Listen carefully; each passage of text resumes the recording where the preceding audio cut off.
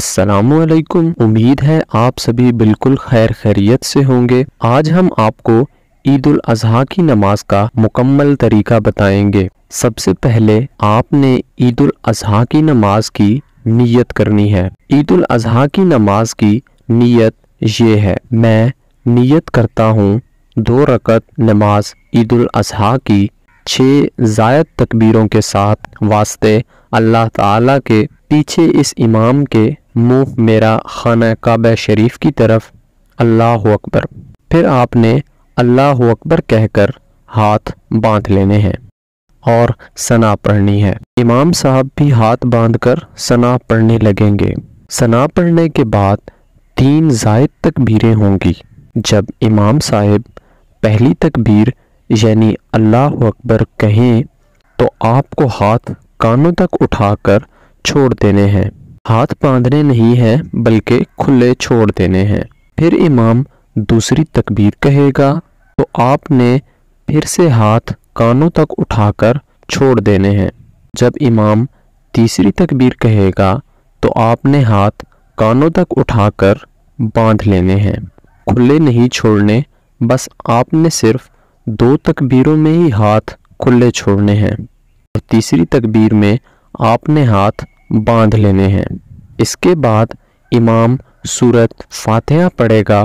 सूरह फातिहा पढ़ने के बाद इमाम किसी और सूरत की किरात करेंगे और फिर रकू और सजूद करके पहली रकत मुकम्मल हो जाएगी। पहली रकत मुकम्मल होने के बाद दूसरी रकत के लिए उठते ही इमाम किरात करेंगे। यानी सूरह फातिहा के बाद कोई और सूरत पढ़ेगा। इसके बाद रकू में जाने से पहले इमाम साहब तीन जायद तकबीरें कहेंगे। जब इमाम पहली तकबीर कहेगा तो आपने हाथ कानों तक उठाकर छोड़ देने हैं। और जब इमाम दूसरी तकबीर कहेगा तो आपने हाथ कानों तक उठाकर छोड़ देने हैं।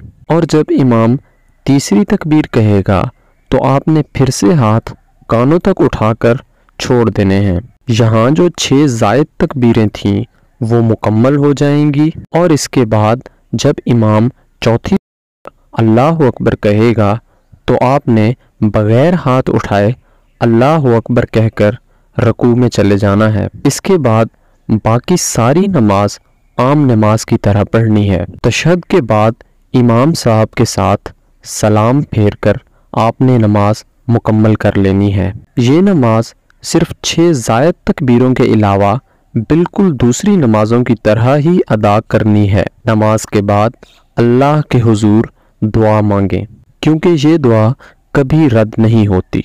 वीडियो देखने का बहुत बहुत शुक्रिया।